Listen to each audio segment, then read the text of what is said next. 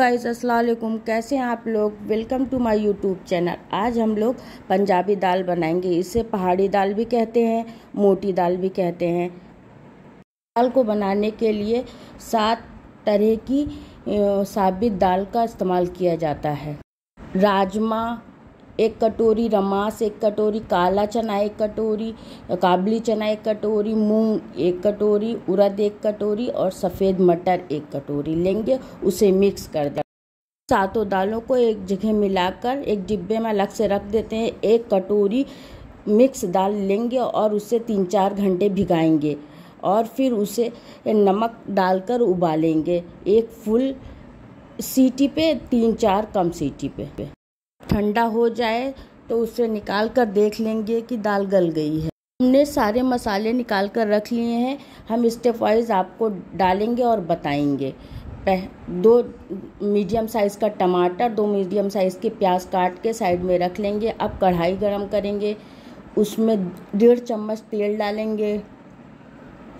तेल जब गरम हो जाएगा तो उसमें ज़ीरा डालेंगे। ज़ीरा, अब फिर प्याज डालेंगे। जब गोल्डन ब्राउन होने तक इंतज़ार करेंगे, जब प्याज गोल्डन ब्राउन हो जाएगी तो उसमें अदरक, लहसुन का दो चम्मच पेस्ट डालकर मिलाएँगे, फिर आधी कटोरी उसमें पानी डाल देंगे। थोड़ा, थोड़ी देर चलाएँगे। अब उसमें एक चम्मच लाल मिर्च, एक आधी चम्मच हल्दी, एक एक चम्मच धनिया डालकर उसे मसाले को भूनेंगे। जब मसाला थोड़ा सा भून जाएगा तो इसमें टमाटर डाल देंगे। टमाटर डाल, डालने के बाद थोड़ी देर ढक के पकाएँगे। अब इसमें दाल, डालकर चलाएँगे।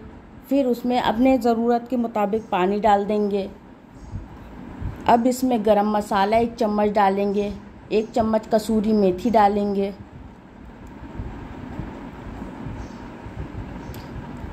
आधा चम्मच चाट मसाला डालेंगे।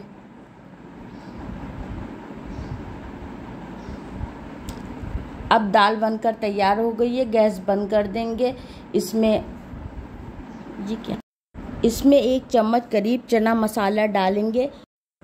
अब इसमें एक चम्मच नमक डालेंगे, दो और चला देंगे। अब इसमें करीब दो चम्मच मक्खन डालकर गैस को बंद कर देंगे। अगर आपके पास पनीर हो तो ऊपर से घिस कर डाल दीजिएगा। अब हमारी दाल बनकर तैयार हो गई है।